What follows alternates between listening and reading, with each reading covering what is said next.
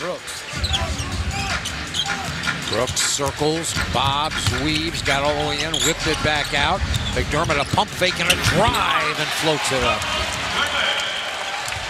Brooks lob to the corner. McDermott, nothing but net. McDermott drops it off to Portis. He fires a 17-footer and scores. Pau comes back in with those two personals. Driving and a shot by McDermott as he finished at the rim.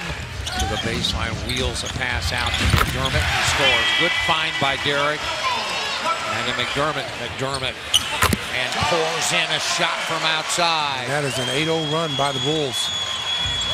McDermott stops, pops, bingo. Doug playing with some confidence. This is what they need out of Doug. They need Doug to be offensive minded when he's in the game. Do it. 14 points off the bench. Good hustle by Taj Gibson. And Doug now just starting to feel it now. Again, it's great to see him come out and play like this. This is what shoot under about 80% ah, McDermott curling with a left hand. I tell you what, that was a nice back cut right there and a good pass by Pau Gasol, getting his back up. A lot of putbacks. Derrick had one earlier, and now threw that down. Doug, great oh, cut. Oh, but Doug will make a poster. Doug with the sneaky hops again. Just when you think he's just going to finger roll it.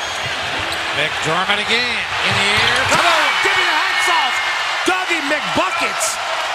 Splash.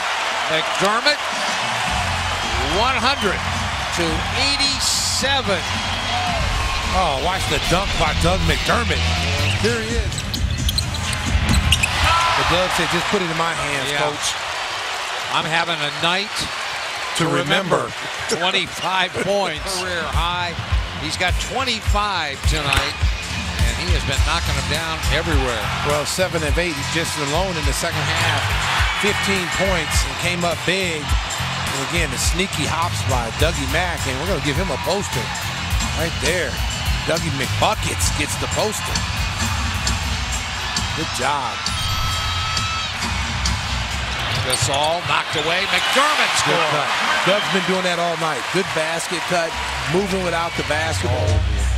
Outside. Oh, give me the hot sauce. And Doug McDermott continues his assault.